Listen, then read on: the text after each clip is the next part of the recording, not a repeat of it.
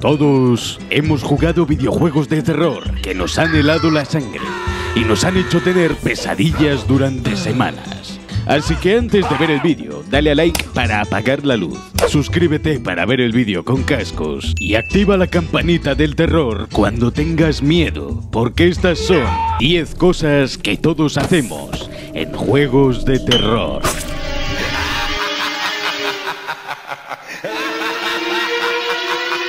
Todos hemos jugado de noche porque es el mejor momento para pasar auténtico miedo. Hemos apagado la luz y nos hemos puesto los cascos para jugar a cualquier videojuego de terror porque nos encanta sentir que estamos dentro de una de nuestras peores pesadillas. Hasta el punto de que tenemos la sensación constante de que hay alguien detrás de nosotros, observándonos mientras jugamos. Incluso hay gente que prefiere dejar una oreja descubierta para escuchar si alguien se acerca a asesinarles por detrás.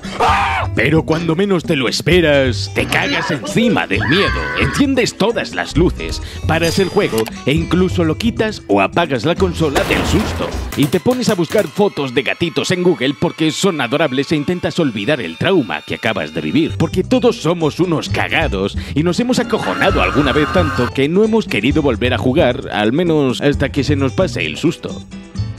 El problema llega cuando tienes que salir de la habitación e ir a la cocina a por agua o al baño, hasta la otra punta de tu casa. Abres la puerta muy despacio y descubres que cada pasillo parece alargarse hacia una oscuridad impenetrable. Y está todo a oscuras, porque todas las casas a oscuras dan miedo, aunque sea la nuestra.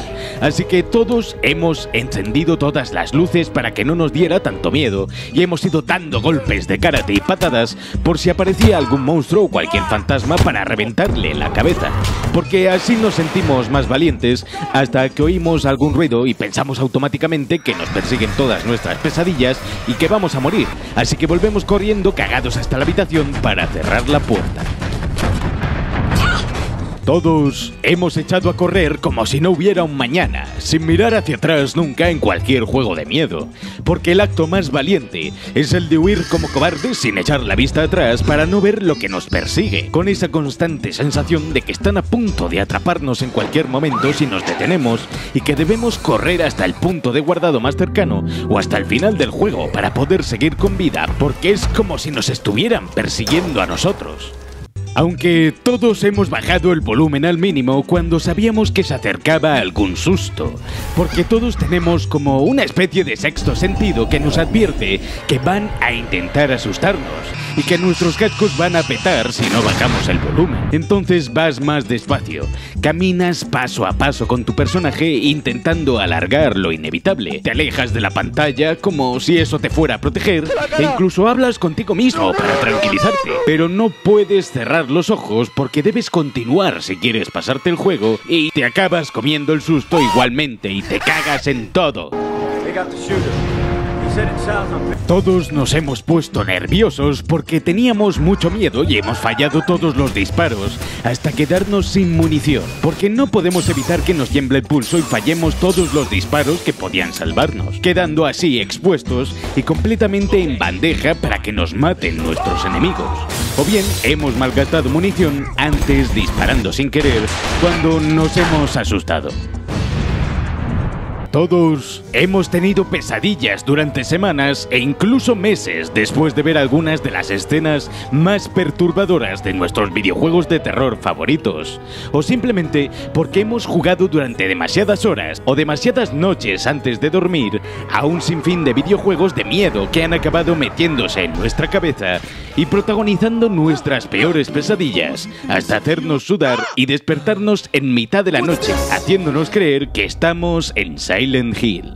Aunque todos nos hemos cagado cuando nos hemos ido a la cama, porque te arropas hasta la cabeza y bajo ninguna circunstancia sacas las piernas o los brazos de ella, porque si dejas cualquier parte de tu cuerpo expuesta, podrías morir o perder esa extremidad y no puedes dormirte porque todo en tu habitación tiene forma de algo que podría arrancarte la cabeza o porque crees que podría haber alguien bajo tu cama. También todos hemos muerto tantísimas veces en algunos videojuegos de terror que ya le hemos perdido completamente el miedo a las criaturas que nos persiguen o nos daban caza. Y nos da igual, ya no nos dan ningún miedo o no nos producen ese nerviosismo de que nos cojan y nos hacía fallar. O sencillamente conocemos ya tanto el juego que sabemos cómo vacilarles, esquivarles, incluso podemos acabar con ellos sin ningún tipo de problema.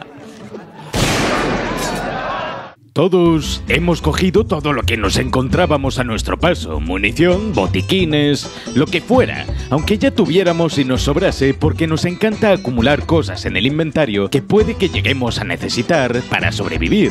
Y luego nunca acabamos usando o las ahorramos demasiado porque no queremos gastarlas. Y nos pasamos el juego entero sin haber usado la mitad de todos esos recursos que hemos ido acumulando como basura en el inventario de forma casi enfermiza.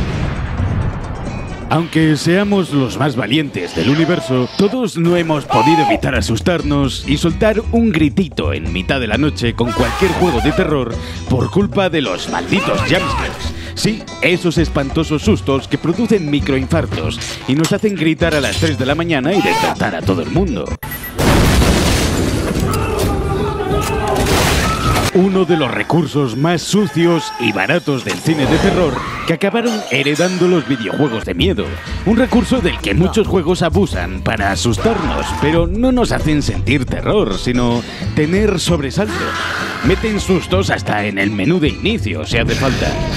Que no digo que todos los jumpscares sean malos, los hay realmente buenos, crean tensión y sirven para sumergirnos más en el juego, pero ¿de verdad es necesario abusar tanto a veces de esta mierda? Acaba perdiendo la gracia. Los buenos juegos de terror son aquellos que no necesitan recurrir a ningún jumpscare para helarnos la sangre, porque se bastan con su ambientación, banda sonora e historia para hacer que nos caguemos encima de miedo durante toda la partida y dominan a la perfección el terror psicológico.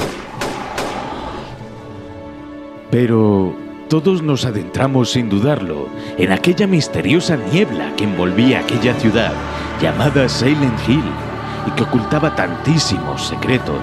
Volvimos en Silent Hill 2 y volveríamos las veces que hiciera falta para tratar de salvar a Mary de nosotros mismos, de nuestros errores, y porque jamás pensamos que un juego de terror nos haría derrumbarnos y llorar así.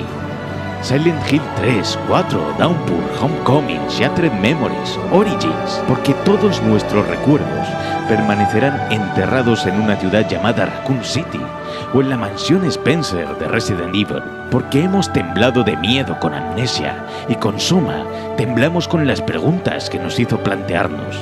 Parasite Eve nunca podrá ser olvidado y Dino Crisis siempre estará en nuestra memoria, al igual que Dead Space nos quitó el aliento para que nadie escuchara nuestros gritos en el espacio.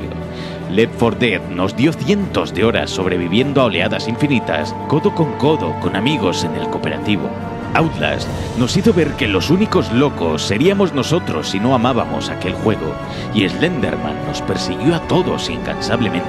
Alan Wake, The Evil Within, Until Dawn, Little Nightmares, Five Nights at Freddy's, la saga Fear, Alone in the Dark, Condemned, Detention, Fatal Frame, Forbidden Siren, PT, Clock Tower, Eternal Darkness, System Shock, Pathologic y cada maldito Resident Evil. Tengo una carta. En el sobre dice gracias. Gracias por hacernos ver entre toda esa niebla aquella ciudad llamada Silent Hill. Prometiste volver a llevarme algún día, pero nunca lo hiciste. Aquellos años nunca volverán. Pero pese a todo, gracias, porque incluso después de tantos años, en nuestros sueños más inquietos, seguimos viendo esa ciudad llamada Silent Hill.